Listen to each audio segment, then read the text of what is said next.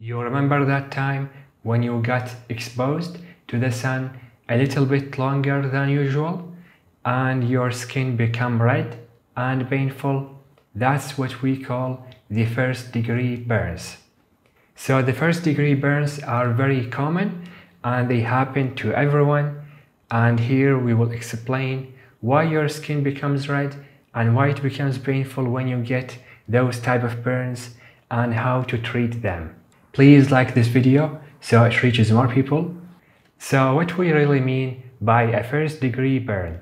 So it means that it's an injury localized to the epidermis. So the skin has three main layers, the epidermis, the dermis, and the subcutaneous layer which is also called the hypodermis. Now every layer of those layers has uh, different layers by itself but those are the main ones. And in first degree burn, the epidermis gets burned. So this layer would be uh, burned by the sun when you get exposed longer than usual. So how the first degree burn present? So it present with reddened skin and that means that the dermis is intact. So the skin becomes red, all the burned skin becomes red. And it becomes red because the blood vessels supplying the skin are still intact because those vessels are located in the dermis. And the dermis is not affected by the first degree burn. Only the epidermis is the affected layer. So the blood supply is still intact and that's why the skin is red.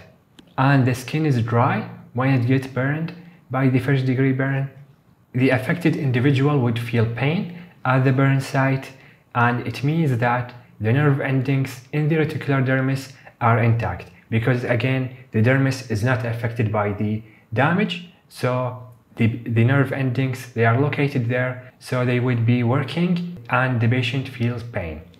The burned skin is blanched to touch meaning when you press with your finger against the burned skin it turns to white color and then when you release finger it is back to red meaning the blood vessel again in the dermis is are intact. And the first degree burns are not associated with the blisters. A blister is a bucket of skin containing fluid blood lymph or any type of fluid and it forms in the second degree burns. In the first degree burns there is no blisters. So when you see a blister it means that the burn is not a first degree burn. Now let's talk about the healing of the first degree burns. So the first degree burns heal perfectly without scarring.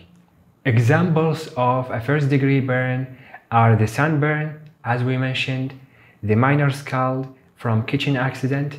So when there is a hot water and the person gets exposed to that water, they ha would have a first degree burn, and so on. A treatment is to relieve the pain with topical soothing agents like cool water for 10 to 20 minutes. Aloe vera gel could be used. Silver sulfadiazine cream. This is an antibiotic, so it would prevent infection. And Vaseline could be used, plus minus NSAIDs if the pain is severe.